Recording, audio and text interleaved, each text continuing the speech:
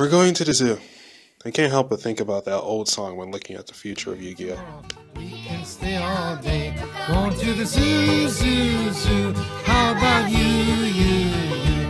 You can come too, too, too. We're going to the zoo, zoo, zoo. What's up, guys? It's Nistro here. So, Zoodiacs came out yesterday for the TCG, and it's time to see if they will really wreak havoc on the meta and whether or not they'll truly become the, the next dominant deck uh, for the next few months. Not only does the deck have the potential uh, to be the next mainstream deck, but it also offers an amazing engine for countless decks. And as we saw in the OCG, it creates a variation in how uh, the deck is played. Um, and so people have the tendency to compare Zoodiacs to Pepe before the emergency list uh, last year. And uh, some think Konami is ready to like hit the deck like a few weeks after release because there's some money sucking scumbags. But what I believe is that uh, Zoodiacs have way more versatility and variant of use, so it may not be hit as fast as people think. Um, I've been in this game a long time, and I can tell you, uh, Konami takes longer to hit certain cards when they can be like more generic, and uh, it's due to really it, the fact that it's not just for one deck; it's um, a card or cards that can be used by multiple decks. So rather than making one deck stronger, it uh, helps multiple decks get stronger, which can sometimes spicing up a metagame rather than like dumbing it down. And so if you're a non-budget player, um, you're either gonna love or hate like the next few months of uh, of Yu-Gi-Oh.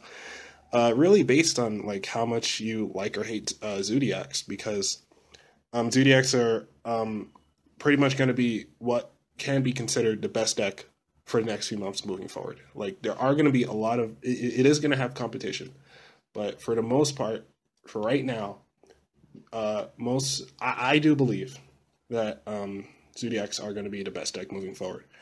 So um, they are going to have competition, as I said, like uh, moving forward, like uh, Pepe after the emergency list. Um, it was still top tier but um, it still had like other competitors with it, like uh, Monarchs and Kozmo, were still pretty big um, back around. That was like February of last year, so it was literally like last year, like a year ago. Um, and with uh, Zoodiacs being the next best thing, um, the next best thing will be uh, uh, Eidolon, or as they're called in the TCG, the Invoked, which, if you didn't know, is probably even way more generic um, than Zoodiacs are, and uh, some variants have like the power to really stand up to Zoodiacs. Uh, the most notable being the Wind Witch Eidolon, and uh, due to how generic um, Eidolon is, like the possibilities of uh, decks um, builds will pretty, pretty much be endless because you could pretty much mix it with anything. It's like um, I'm hearing Eidolon Blue Eyes, Eidolon Cyber Dragon, Eidolon Shiranui. Um, there's there's like a whole bunch of builds out there, man. And I'm telling you that that deck is going to have see a lot of play, um, even if it's not by like, even if it's not going to be like tournament ready for some decks. Like I even saw a Eidolon Dark Magician deck in my uh, Super Heavy Samurai replay um, that I uploaded a few days ago, and uh, so not only Eidolons. Um, we'll be having uh, True Dracos or True Kings. Like we'll have the full deck um, in Maximum Crisis, which comes out in a few months and uh, they do share a resemblance to Dino Rulers as well. Um, and their rank nine, I'm telling you, their rank nine is broken. Um, so, as well as uh, the Dino structure uh, that's coming out, uh, it's coming out the end of the month of this month for Japan. So we don't know how um, it's going to affect the meta yet. But for us, it's coming out like mid-April, which is pretty nice. Um, and you know that deck is going to break some ankles. I'm, I'm telling you right now, that deck looks pretty strong from what uh, we've seen so far. There are a few builds with it, um, and you know, I mean, seriously, have you ever laid your eyes on a creature as beautiful as Ultimate Conductor Tyranno? Like I have not laid my eyes on a creature as beautiful as that thing. Um, but uh, last but last, but not least, you know, like another competitor of Zoodiacs is probably going to be DDD. Um, now, call me crazy, but I still think the deck still can do something.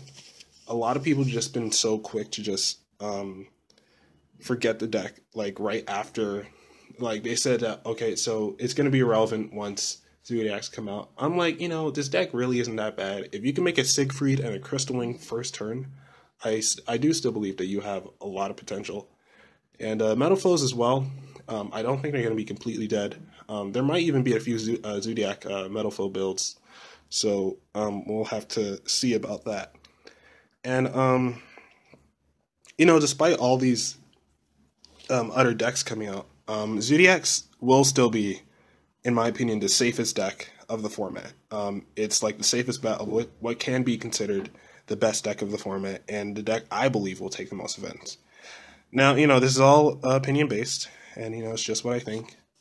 But um, so all my budget players uh, stuck in a fray of what you're gonna do. You know, Zoodiacs are gonna be expensive. Um, Eidolons, I don't know how expensive they're gonna be, but um, I've seen a few builds of like Eidolon Blue Eyes um, and if you already have all the Blue Eye stuff, then the Eidolon stuff might not be that expensive because I heard that um, Aleister, um, he's to be a super. That's what I heard. And if that's true, and if the fusion card is a super too, then the, the deck won't be hard to make. Hopefully, um, let's just hope that the uh, the light fusion um, isn't that expensive as well. It might be if it's a secret, but if it's not, then it may be like four or five at most. Um, but you know, either way, I don't really think budget players attend events that much often. Um, so uh, um, I do like I do fear your pain, but it's like you, don't really affect the metagame. You know, it's like uh, when you're a budget player, you kind of really play like what you have. You know, you may not really care about topping like regionals or YCS. Like you may just go to locals and play locals. You're gonna see a lot of Zoodiacs there anyway. But um, I'm just saying, just prepare for it. Um, you know, like I'm out here playing Paleozoic Ninjas um, until like the Dino Structure that comes out. So I, I mean, I kind of understand what you're going through. But um, uh, I mean, the Dino Structure deck is a good option for um, budget players. But you know, for all of you who really just don't feel like taking Zoodiacs, I feel honestly, it's just like nobody's gonna get mad at you for taking a break for, from the game for like a few months because there are a lot of decks coming out in the next few months that can stand up to Zoodiacs. Um, so I mean, maybe you can wait for that deck to come out. Like maybe just take a small break, uh, just gather all the cards you need right now, and then um, make a deck when everything comes out. Or you can do what I'm doing, which is pretty much what I just said. But I'm just waiting until April for the Dino Structure deck, and then that's when I can start playing again. Um, but um, just you know, just looking at builds for what you know your deck can do, um, and you know, just uh, making sure that uh, you you know how your deck um, can face the meta, like you know, like what to play, what to side deck. But you know, when I say you know, you sit from a distance, obviously that means you watch carefully. You know, you see what's topping, you see what works, you see what doesn't, you see what um, some new expensive staples, if if there are any, um, in the next few months that may come out. But um, yeah.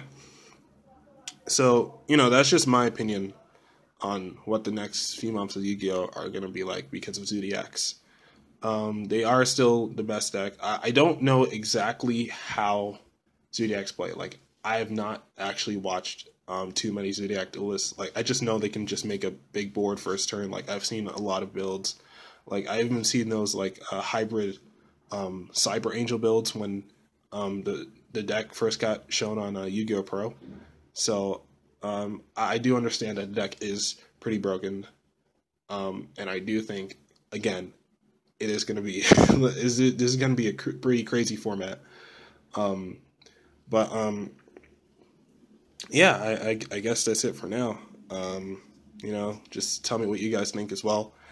Um, so, Nice, uh, this was Nistro here. Nistro out.